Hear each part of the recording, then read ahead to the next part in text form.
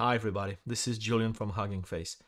This is the first of a series of three videos where I'll focus on training a vision transformer model on Amazon SageMaker. You're certainly familiar with uh, using transformers for natural language processing tasks, but in fact, um, thanks to the vision transformer, we know that we can also use transformer models for computer vision tasks like image classification. And this is exactly what we're going to do here. So in the first video, we're going to build a dataset using images stored in S3. Uh, in the second video, we'll use this dataset to train a vision transformer model using the Hugging Face container on Amazon SageMaker, and we'll use the, the trainer API from the transformers library. And in the third video, we'll train again using the Hugging Face container and SageMaker, but this time we'll use PyTorch Lightning, uh, which is uh, a very popular PyTorch addition that makes it pretty easy to train models. So just another way to do it. Okay, let's get started. First of all, we need a dataset. And uh, to keep it simple, I'm going to grab the uh, dogs versus cats dataset from Kaggle, and we're going to um, download it and extract it locally. And we're going to keep uh, just 10% of the dataset to keep that demo and that training time um, pretty short. But you could certainly use more images. Okay, so you can see the script here, um, nothing really difficult. Extract the dataset, move all the dog images to a folder, move all the cat images to another folder, and then basically um, keep only um, 1,250 images from each class and uh, sync that to an S3 bucket. Okay, I'll include the script in the repo. Uh, again, nothing really complicated here, right? So once, uh, once we've done that, what we have is an S3 bucket where we have at the root one um, prefix per class, okay? So obviously cat includes all the cat images and dog includes all the dog images, okay? So that's uh, the assumption that I make on uh, on my data, and this is what my uh, um, dataset script um, expects. Okay, so pretty typical one prefix with uh, all the class images under it. Okay, so let's go and take a look at the script. So, so let's take a look at the high level process and then we can look at the, the individual functions. Okay, so this is my SageMaker processing script. Uh, and here's the, uh, the entry point, the main function. So the script will receive arguments, the bucket, um, the prefix, um, the list of classes that are present in the dataset. So in this case, it's going to be uh, it's going to be a, a, a, an array with uh, two classes, dog and cat, right? And I could also pass the name of the model that I want to use, right? Which vision transformer model do I want to use? So receive those arguments, extract them. And my first step is going to be to read all those images in S3 directly and uh, figure out what the label is and store the images in a Python dictionary. I'll have two keys in the dictionary, um, the NumPy array storing the image bytes and um, the, the label, uh, so the class index 0 or 1. Okay and we'll look at how this works. So once I've got this dictionary, then I can use this convenient from dict API in the datasets library, applying the features, uh, so the labels and the image uh, to the to the dataset. And this is going to be a Hugging Face dataset object from my in-memory uh, dictionary. Okay. And the next step is, of course, to um, extract features from the images and I'm using the Vision Transformer feature extractor for that. And what this really does, it's uh, adding a new feature called pixel values to, uh, to the dataset. Um, and of course, since I'm working with a Hugging Face dataset, I can use the map API to apply um, the, a pre-processing function that will extract the features using that extractor. Okay, and once we've done that, so we have this extra feature in the data set, we split the data set in three bits, train, validation and test, and we save them as Hugging Face datasets to well-known locations inside the SageMaker processing container, and that container will automatically uh, move them to, uh, to S3, okay? Right, so that's the high-level process. Load images in the dictionary, um, use the feature extractor to add pixel values, um, and then split and save. Okay, so let's zoom in on, on the individual functions here.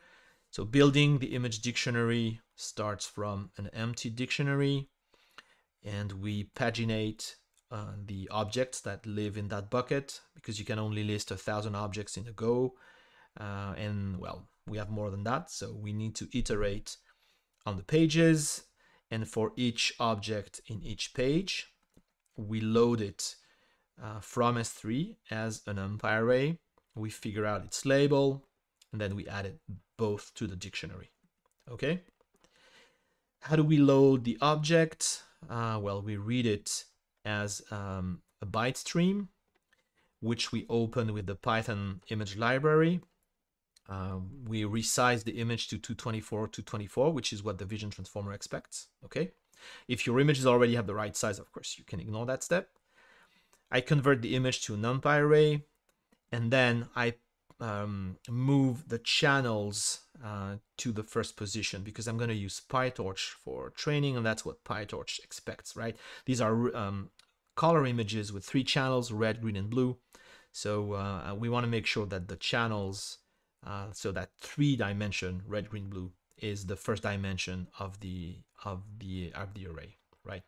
And well, unfortunately, the Python image library does it in the opposite direction, right? So channels last, which is why I need to move the axis first. Okay. So that's how you load uh, an image from S3. Figuring out the label is super simple because, of course, the the um, the, the key for the image contains dog or cat. So we can uh, we can split that uh, um, that key. We can find um, the, the, the, the, dog cat position. And then obviously uh, since we have the list uh, of classes we can find the, the label which is just the index of dog or cat in the in the class list right? So zero or one pretty much. And that's how we do it right? Um, so nothing uh, nothing really complicated here uh, and yeah the pre-processing function is um, is just what you would expect so uh, starting from a batch of, uh, of images stored in the dataset. Um, we uh, apply the feature extractor and we add that new feature called pixel values. Okay, so I guess that's the, the canonical way to um, to work and to process Hugging Face dataset. Use that map API with a function. Okay. So now let's see how we run this using SageMaker processing. SageMaker processing is really super simple. Um, we used a built-in container. Uh, in this case, I'll use the uh, sklearn processor. Uh, you can use uh, PySpark if you wanted, and uh, if you wanted to distribute uh, computations, you that makes it very easy. But here, I guess I don't need that. Uh, so I'll just stick to my good friend sklearn processor uh, passing my infrastructure requirements. So I just need a bit of memory on the on the instance because I'm going to load all those images. So I'm going to go with M4, uh, M5 4XL. That should be more than enough. But um, you can go bigger. Uh, you can use uh, larger M5s. You can use uh, very large R5 instances. So if you really need to load tons of data, uh, you can go and just change the instance type, and and you should be fine, right? And then um, I'm just gonna run this uh, processor object passing my image processing script, which we just looked at. It doesn't have, it doesn't have an input per se. Uh, the input is really defined by the bucket and uh, and the prefix and the list of classes. Um, and it has three outputs because as we saw, we have three splits for the data set, the training data, the validation data, and the test data, right? That's it super nice. Uh, we just run this cell and we can see a bit of a logging here. So we're installing the transformers library and certainly the dataset library. Okay. And we can see we load images and then we build a dataset We extract features. So here we see we're downloading the feature extractor for the vision transformer model we selected. Then we split the data set and we see we'll have 2000 images for training and 250 for validation, 250 for test, right? And then we just save them. And all of that took nine minutes, right? And I can visualize uh, the actual location of those outputs, right? So I see all three of are living in that same uh, S3 prefix. And if I list that, uh, well, obviously I see my training data set and we see the familiar arrow file uh, and the same for the validation dataset and the test dataset. Okay.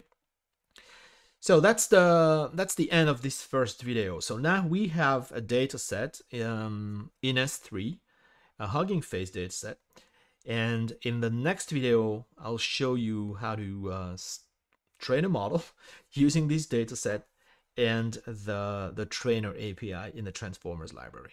Okay, so keep watching.